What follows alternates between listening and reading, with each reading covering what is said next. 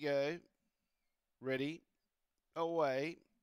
Now, showing a good turn of speed was Rocky Queen. Jumped a lot better this week, but was crossed early by Clearview, who went down to the inside, and Rocky Queen went to the centre.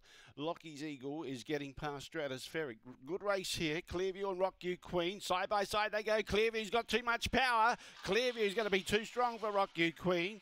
Third, Lockie's Eagle, I'd say, just in front of Stratospheric. Uh, but Clearview has been too good in the ninth event on the program for the favourite.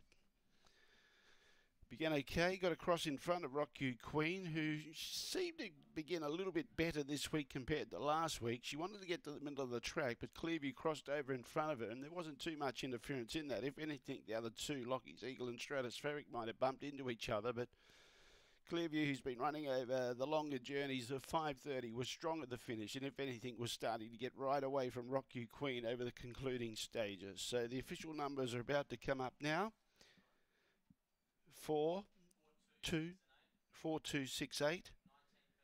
1937 the run. 698.